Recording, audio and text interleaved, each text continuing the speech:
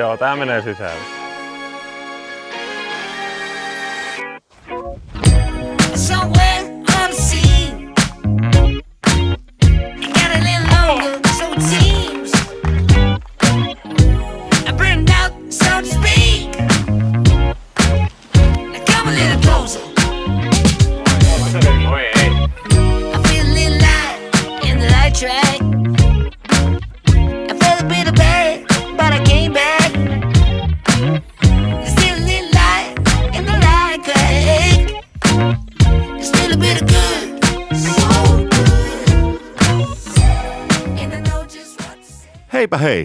Tervetuloa seuraamaan Muuramen riihivuodessa pelattavaa parikisaa. Minä olen Hiltusen Arttu ja mulla on mukana täällä selostamassa tietenkin Rauli Rändi Savela. Kyllä, edelleen täällä paikalla ja edelleen tuolla pelaamassa. Takaa ysi on alamäkeä. Tupla rooli, saatko tupla liksana? Joo, tos, et, Mitä? täytyypä muistaa tuommoinen. Vähän kuin mainit. Mitä kaksi kertaa nolla on nolla. Kyllä. Ei sentään. Tota, tilanne etuysin jälkeen on kutkuttava. Rauli ja Lauri johtaa seitsemän alle tuloksella ja Lauri ja Väinö kuusi alle sinne heti perässä takana. Ja nyt sitten aloitetaan tosiaan tämän mäen alas tuleminen ja heti ensimmäisenä väylänä on sanotaanko, että melko haastava, melko haastava alamäki neppi. Joo, Kato toi, se on vasempaan vekoihin puihin. Väylä 10 leveys. Testa. Mun pitää tehdä tämmönen. Muuten mä otan. Se on niin lyhyt. Lähtee.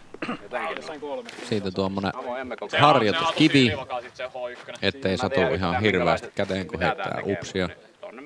Ja kaiken lisäksi minulla ei ollut semmoista kiekkoa tarpeeksi vapaata, niin Väinö löi mulle jonkun prodigyn kiekon koiraa. Että katsotaan mihin se menee. Ylös, ympäri ja metsään.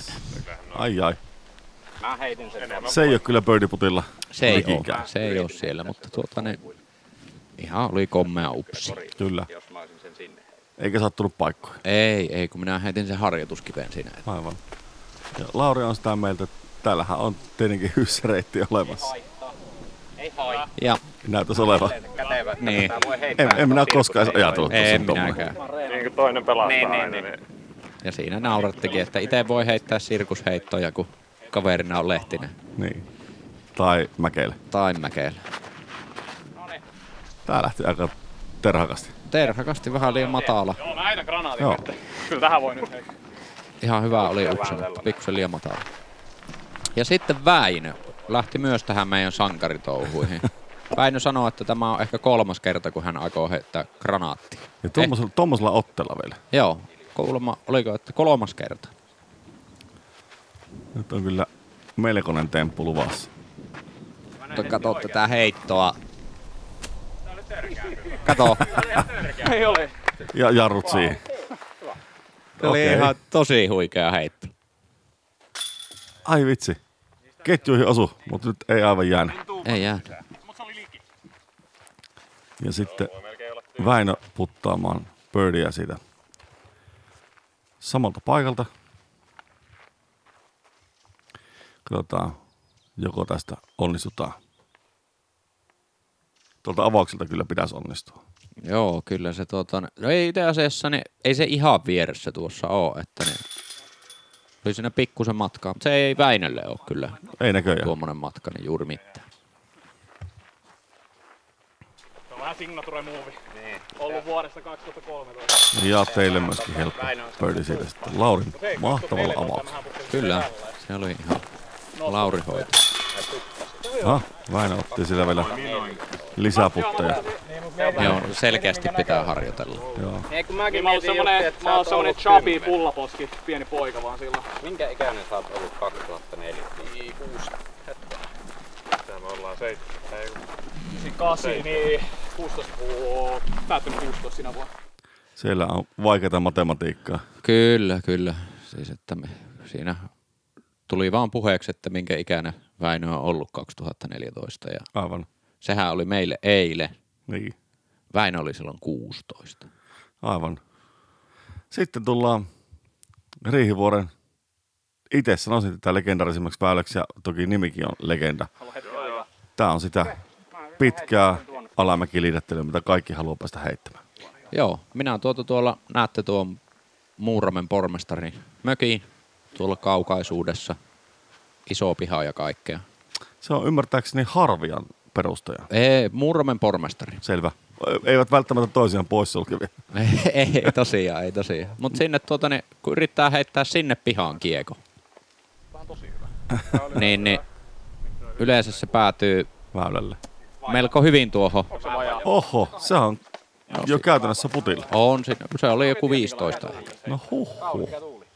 Mutta se on, kato, kun pormestarin pihaan kiekko, niin 15 metrin putti. Siellä on pormestarin pihassa on, onko kolme rantasaunaa myöskin. Erilaisia rantasaunoja, koska pitäähän nyt muramelaisen harvia yrityksen edustusta olla siellä tarjolla. Totta kai. Harvia ei ole muuten tämän videon sponsori, mutta niin, nyt voi ottaa yhteyttä, jos haluaa. Kyllä. Tota, Lauri jätti vähän lyhyeksi. Joo, Lauri yritti liian sisästä lähteä, että se ei uskaltanut tuonne pihan päälle. Markkanen uskalti. Nyt lähdettiin hakemaan iso linjaa, mutta tämä ei palauta. Nyt oli vähän liikaa ansaa. Ja se on autossa. Kyllä, se, se, oli, se lähti tosi syvälle tuonne. Se, tuota, niin, tässä taas se näkyy, että se lähti itse asiassa tuo heitto aika hyvässä haiser-kulmassa. Joo. Mutta sitten tuohon alamäkeen heittäessä Markkanen sai sen nokkakulman niin kuin jotakuinkin alas, niin se kiekkohahet pyörähti ympäri saman Aivan. tien. Ja Väinö laittaa sitä oikea autin ylite aikaa makeen näköisen heito. Oh, Shoo! ihan tuommoinen perus 60 metrin skippi. Joo, peruskippi. Sinne jäi tuommoinen 25-30 metriä putattavaa vielä. Joo. Ja nyt jännittää, että onnistuuko. Ei aivan. Joo, se on aikaa pitkä matka. On toi. Sitten se on ihan apointa tuolla rinteessä ja mm. vähän tuulee, niin on se aika hurja putti. On se, ja tuossa just se, tuo matka on semmoinen, että, että se on niinku, se on pitkää kopittelua. Kyllä. Ja tässä on meidän kotkaputti. Eli putka kotti.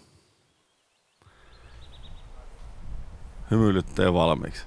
Tai että taitaa olla kova itseluottamus. Pikkusen kori ylite ja Oli, oli. pitkä paluuputti jäi vielä siitä. Niin kuin takaa ylärauta. Joo. Sitä oli vielä koripallo mielessä.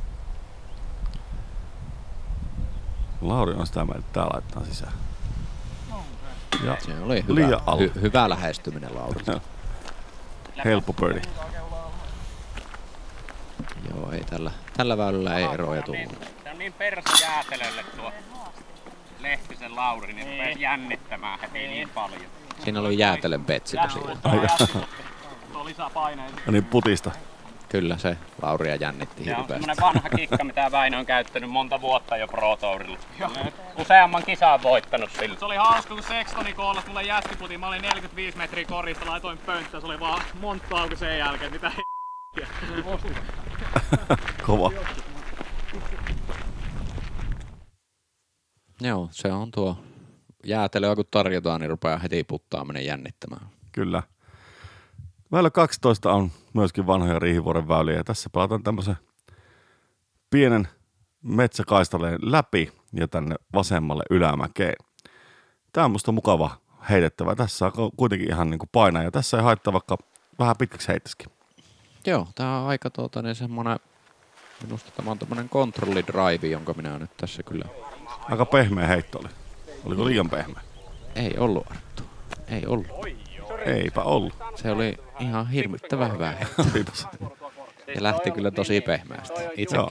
niin kuin, kuinka sä aina tapana sanoa, että taikuri yllättyi itsekin. Kyllä.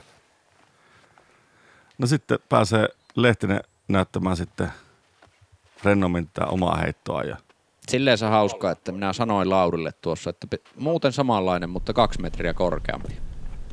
Niin eikö, se heitti sen. Lähden nyt korjaamaan itse tuommoista. Onko pakko heittää? Ja aivan kori alle. Kyllä. Katsotaan saako nyt sitten. Lauri Markkanen tästä nyt sitten osumaan tuohon väylään.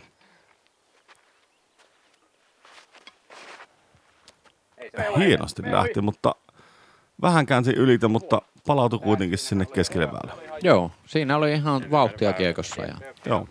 hienosti nousi haiserista pystyyn. ja Katsoitko muuten vähän, että minkälaisia kiekkoja tuo pelasi? Oliko sekapäki?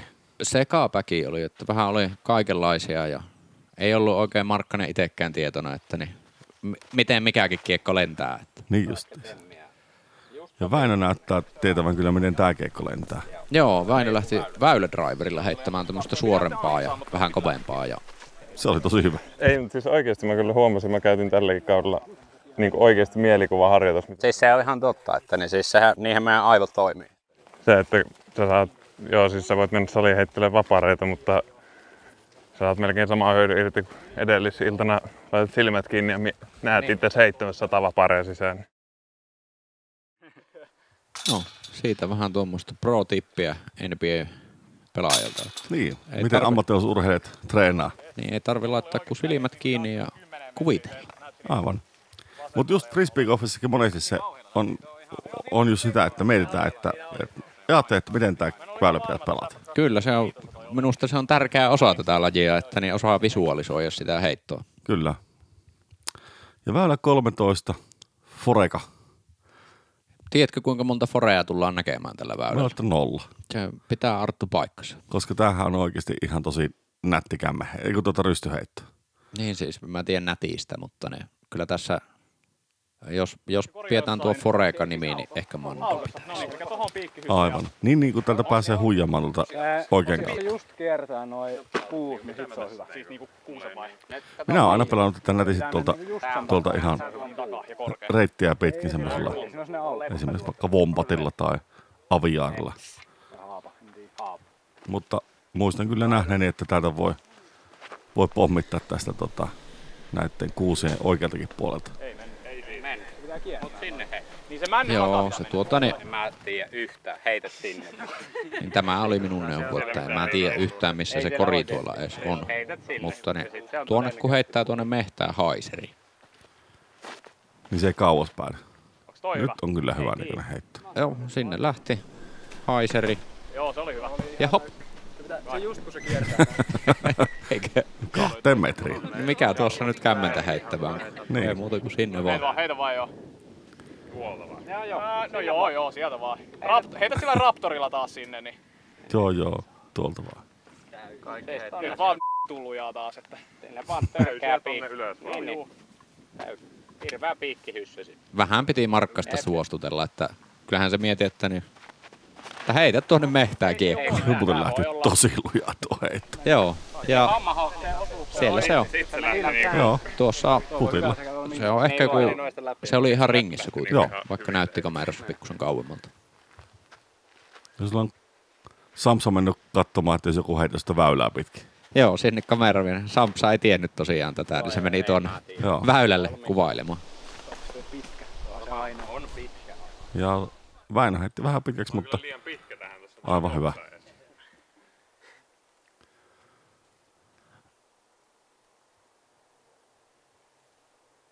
Hieno putti. Siellä kato, ei tarvinnut kuin vähän kotkan silmään. Sinne meni. se on vaan kun se päättää, että se laittaa. Laitaksä?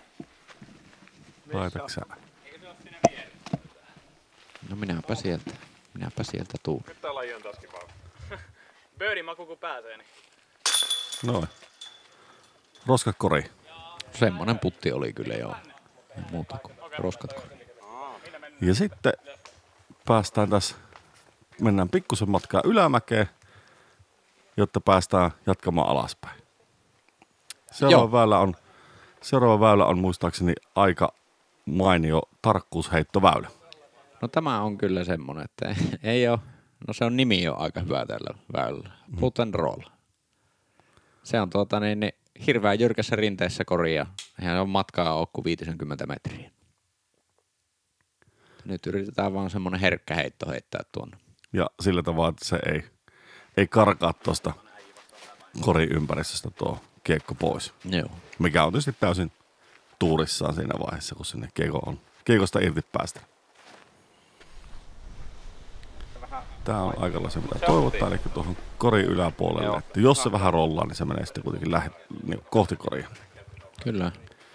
Se oli hyvä, siitä varmasti birdia ottaa, mutta katsotaan, lähteekö Lauri vielä parantamaan tästä.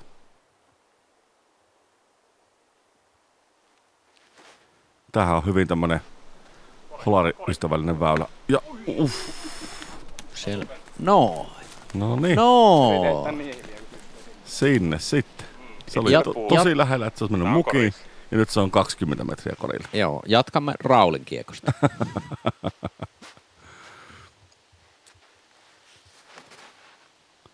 Tääkin näyttää hyvältä, mutta liian matala. Se oli oikeasti hirveä hyvä. Se osui johonkin juureen tuossa. Onhan se nytkin siinä viidessä metrissä. Aivan. Ei se sen parempi tarvitse olla. Ei tarvi kyllä joo. Hei, kuinka pitkäksi toi Lauri Markkasen heitto jäi korista? Ei jäänyt, ei jäänyt pitkäksi sieltä. Ilja kyseli. Se on nyt, kun on Ilja saanut, Ilja saanut, saanut radiopuhelimet, niin voi kaikista tämmöistä asioista höpötellä sitten tuolla Joo, niillä pelaaji, oli, pelaajien riesana. joo, niillä oli molemmilla tuota, niin semmoinen kuppi ja siinä oli sitten naru pelissä. Ja Väinö heittää sinne aika lailla samalle paikalle kuin Rauli avaus, Olipa hyvä runi. mutta se päätyy rullaamaan tuonne pitkälle kauas. joo, ja tuo oli Väinö tosiaan sanoi, että hän yrittää suoraan koriin. Aivan. Mutta sieltä. Markkanen. Oi, Se oli toinen. Kyllä. Hienosti. Meikä pari on paras. Ei vaan niinku voi mitään.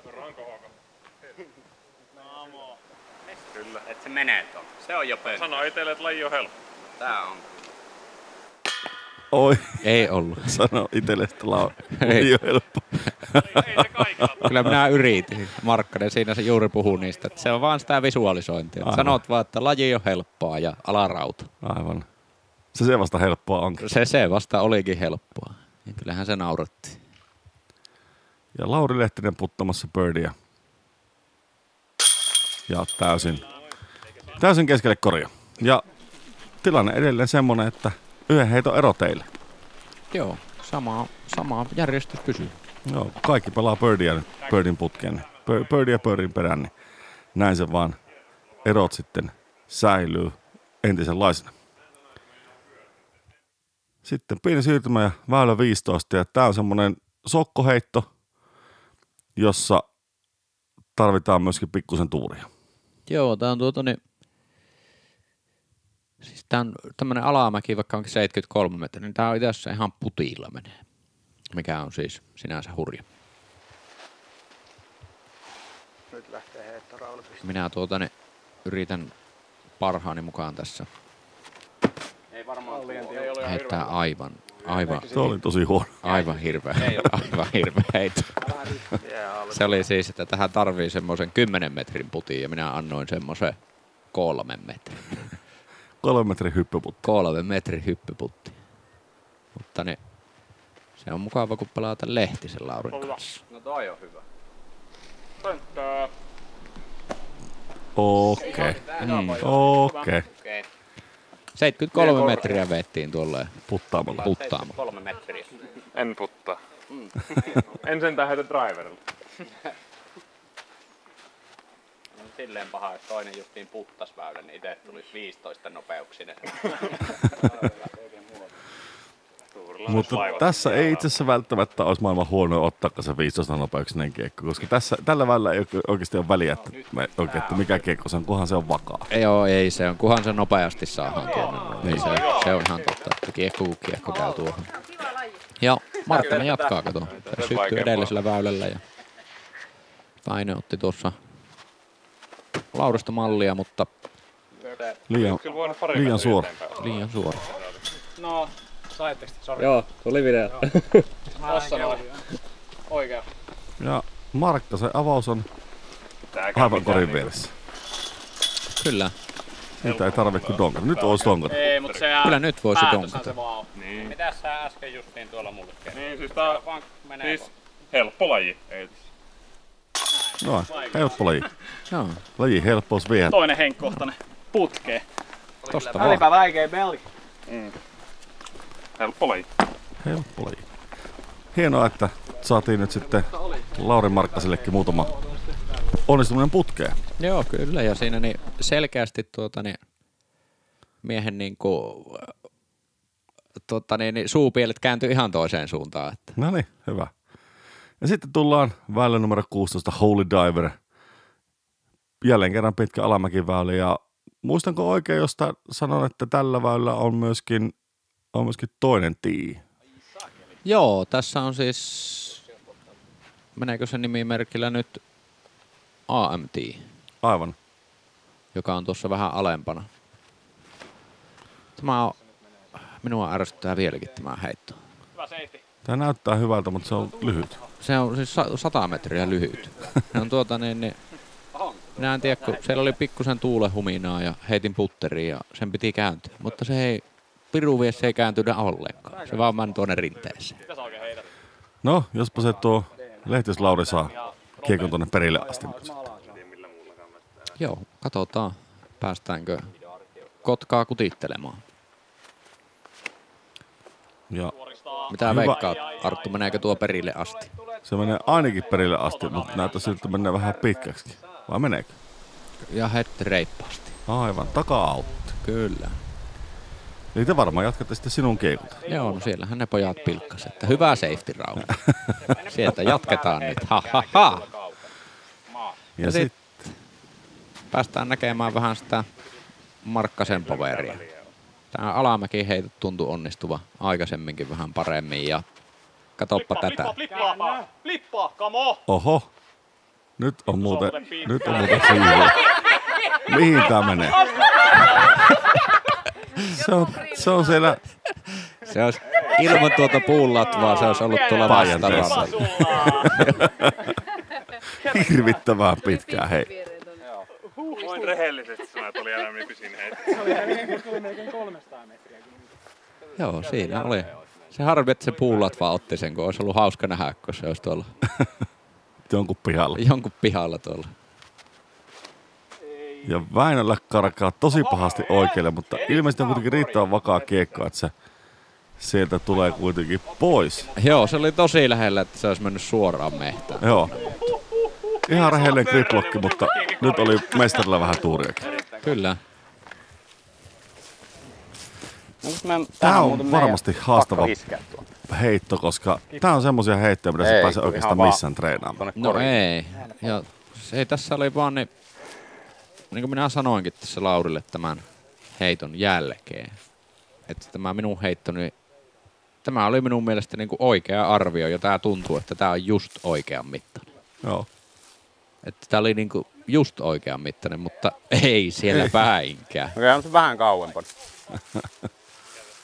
Joo. Ja tässä varmasti myöskin hämää pelaajaa se, että kun tuossa ei ympärillä ole oikein mitään niin kiitopisteitä. Pelataan alamäkeen ja ei ole mitään mihinkään niin verrata tuota etäisyyttä esimerkiksi. Niin, nimenomaan, että se etäisyys oli, tai sitten se on vaan nämä vanhat silmät. Tästä. Lauri Merkel laittoi sisään. Kyllä. Ja Eikö siinä- näin ollut? Kyllä. Ja pän... Tyyli on vapaa. Vapaa heitto tyyli. Joo, Freestyler. harmittaa, että ne Markkanen ei pistänyt siitä. Hyvä yritys kuitenkin. Oli ihan, että korkeus ja vauhti ja kaikki oli hyvät siinä. Että. Ja Väinöllä Eagle putti siinä.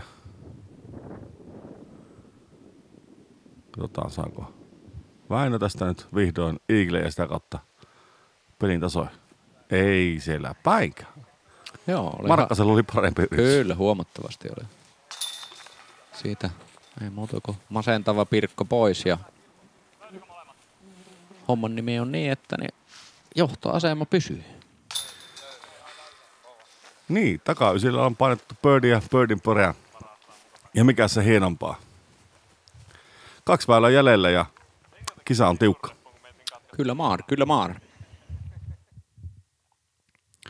Väylä 17, Kaimani Viskarin mukaan nimetty Mökkitie. Kyllä. Ja tässä on tarkoitus käytännössä heittää kämmentä. Niin, kyllä se tuo on niin muodoltaan, se on niin tiukka kääntyminen tuossa, että vaikea siihen rysty on sijoittaa. Katsotaan, niin osaako tuo Savelan Rauli näyttää mallia, miten tämä väylä pelataan. Tai kuinka se useimmilla menee. Suoraan me. Väylälle ja kovaa ja käännöstä positiivista. Hmm. Se ei ollut kyllä lainkaan toivotun näköinen ratkaisu. Ei, ei. Mutta väylällä. Kyllä.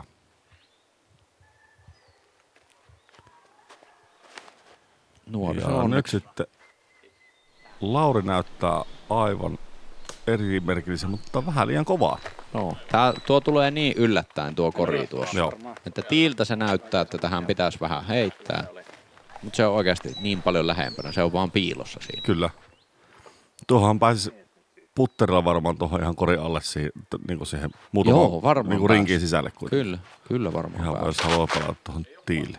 Markkanen yrittää vähän tämmöistä ylikääntävää, joka melkein lähtikin kääntymään, mutta Vähän liian vakaa kiekko siihen. joo, loppumetreillä loppuvauhti. Joo, se olisi muuten ollut aika hyvässä linjassa, jos Kyllä. olisi kääntynyt yli. Ja harvinainen, mutta Yleistymään päin. yleistymään päin. Mä olla Väinö tuota, niin käski mainitakin, että nyt alkaa olemaan tämä kämmen pikkuhiljaa tikissä ja Katsotaan onko se. katsotaan. Ei se mies valehellu. On kyllä hyvä heitto. On komean näköinen kämmä. Ja sekin aivan liian pitkiksi. Joo. Still in the game. Still in the game. Katon nyt, Jore. Jore. Mutta nyt on haastavat birdieputit molemmilla tiimeillä tässä näin. Ja katsotaan, että pystyykö nyt Markkanen Mäkelä mahdollisesti hyötymään tästä.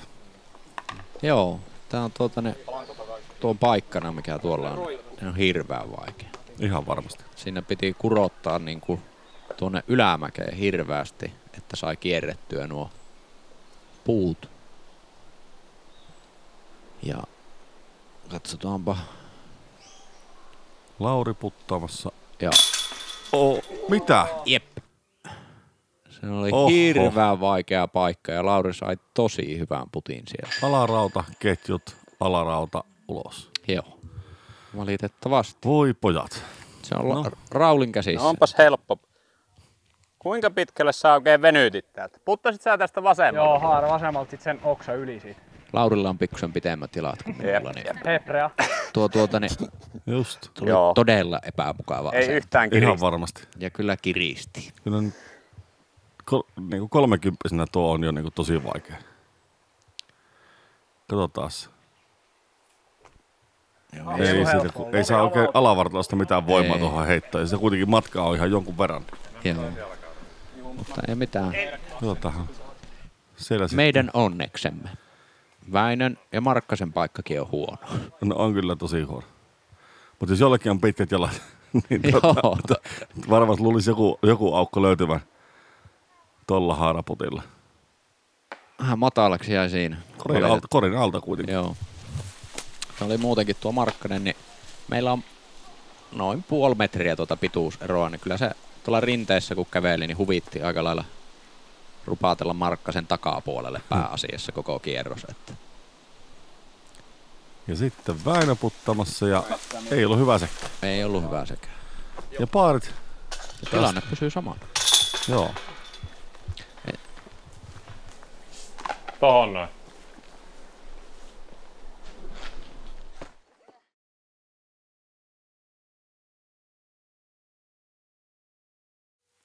Ja tässä vaiheessa haluan taas muistuttaa siitä, että osoitteessa patreon.com kautta Finland voi tukea meitä näiden Frisbee Golf-videoiden tekemisessä. Jokainen euro edistää meidän pyrkimyksiä tuottaa entistä laadukkaampia videoita monipuolisesti ja nopeasti. Suuret kiitokset meidän kaikille nykyisille jäsenille. Olette äärimmäisen tärkeitä ja arvokkaita. Kiitos.